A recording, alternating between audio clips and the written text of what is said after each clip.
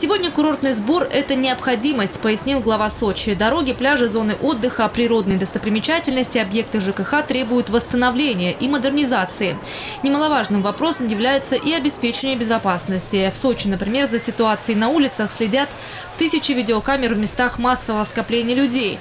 Но требуется дополнительная установка систем видеонаблюдения в жилых микрорайонах и там, где программа «Безопасный город» пока не действует, сообщают РИА Новости. На это нужны средства. Анатолий Пахомов отметил, что подобные вопросы можно решать за счет курортного сбора. При этом он должен быть незначительным – 50-100 рублей.